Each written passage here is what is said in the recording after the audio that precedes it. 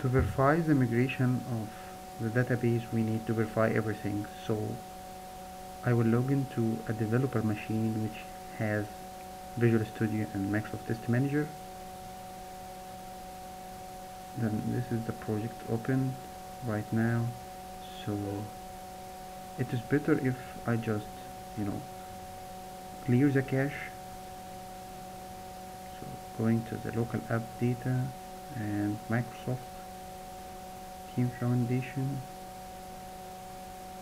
5 cache and clear all that but it's better to close Visual Studio and Microsoft Test Manager as well.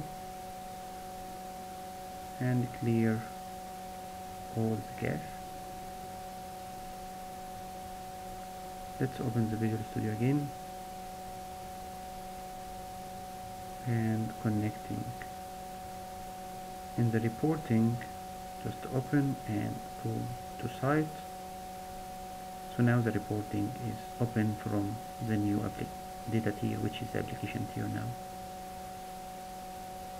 Try to open a report. Loading.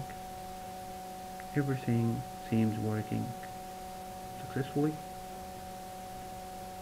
Then just to go to the work item tracking just you know check open the MTM to check an environment. On the lab management I have an environment created. The test controller was an offline so I just go to the test controller machine which is actually the TFS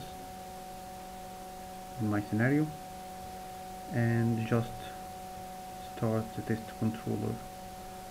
It was not running. So I just started. And then going back to the developer machine.